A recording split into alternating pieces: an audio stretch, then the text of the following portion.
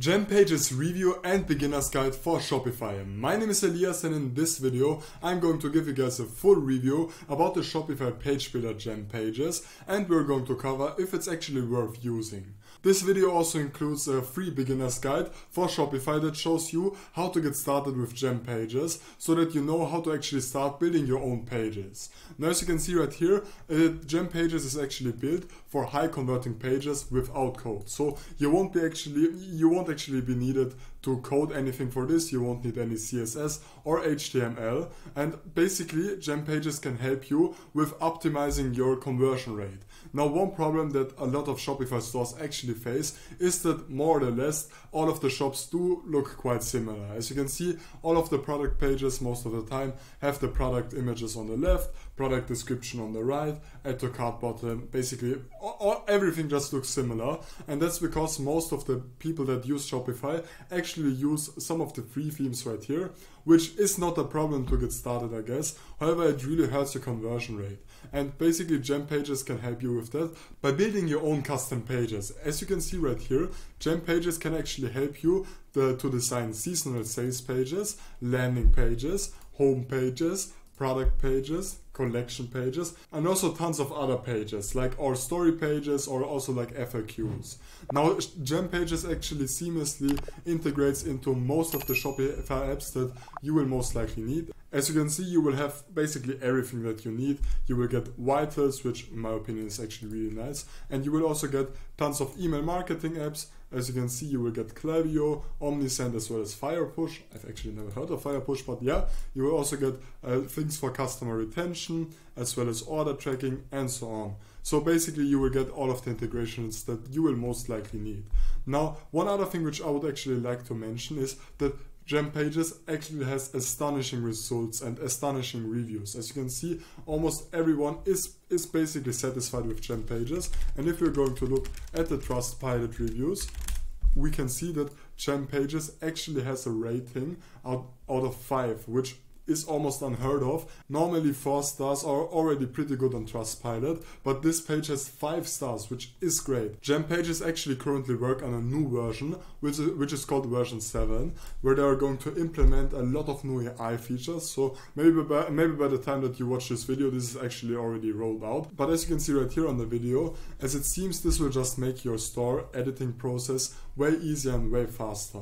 Now when it comes to the pricing, Gempages is actually one of the cheaper options, depending if you are going to go for the yearly option or the monthly option. As you can see for the monthly, you're going to pay $30, I'm sorry, $29 per month for the cheapest plan. However, Gempages is actually also going to offer you a 100% forever free plan for one published page. So you can basically only customize and design one page. However, it's also completely free and you will get most of the features that you will most likely need to get started and to get a feeling for Gempages. Now, as you can see, if you're going to go for the build option, you can actually get started designing free unlimited page types and also you will get A-B testing and high-speed CDN. Now A-B testing is a feature which I really like and which a lot of competitors to Gempages actually not offer. Now if you're going to go for the yearly option, this is only costing you $23 and the next option would be the optimized plan. Optimized plan will get you unlimited pages premium templates and you can also publish scheduling. So if you're already advanced, if you already have quite a big store, then going for the optimized plan is actually worth it in my opinion. And for the enterprise plan, you will basically get all unlimited features. Now to actually get started installing Gempages, I will leave you the link down below to do that. And you will just have to head over to the Shopify App Store and click on add and click on add app right here. And as you can see, now we are on the Gempages dashboard. You can get a quick starting guide if you want to, however, I'm just going to skip that. And on the left, we can actually get started building our landing pages. Now, as you can see, we can either uh, build a landing page, homepage, product page, or a collection page, or also a blog post. Now, as for this video, I will actually go and build up my own product page. And then I'm going to click on create new template.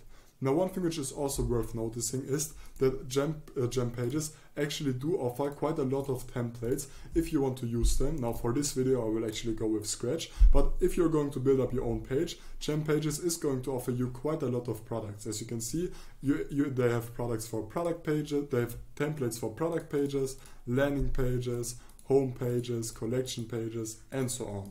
Now, as you can see right here, first of all, we will have to assign a product to this page. We can do that by clicking on the assign product uh, pop-up and then by selecting the product that we want to sell. I will go with the oversized t-shirt on my shop. Now, this is just an example shop. I'm not actually selling a t-shirt actually. Um, so as you can see, now it's updated and now it's automatically added all of our images on the left. Now, if we want to, we can also get started um, designing everything. So for example, I will just um, I will click on the image right here and then we can design the settings and the visibility. So for example, we can add a zoom if we're going to go, uh, if someone is going to hover through the uh, image, they can zoom onto the uh, onto the picture. Um, now I think this is the zoom is quite a little bit too much, so we can actually decrease the zoom. Maybe something like yeah, something like this does actually work better. We can also add a badge, which can help with conversion rate.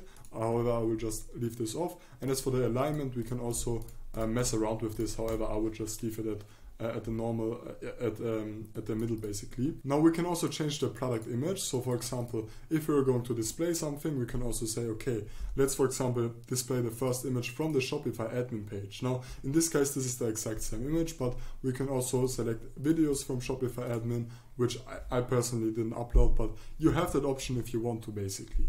Now we can also get started um, customizing the image list. So for example, we can change the image spacing, also the style in general. So I will go for the slider maybe. And as you can see, this just, in my opinion, looks way better. It looks and a little bit nicer. We can also add dots navigation and a loop if we want to. So that, as you can see right here, this actually only works on live page. But I guess if you're going to activate loop, uh, this is automatically going to uh, slide through all of the pictures. We can also enable the lightbox if we want to, which in my opinion, is unnecessary. And we can also set up stuff like video inline and so on. We can also set up a custom style guide by clicking right here on global style and by then clicking right here on create new, uh, new preset and then on new preset right here.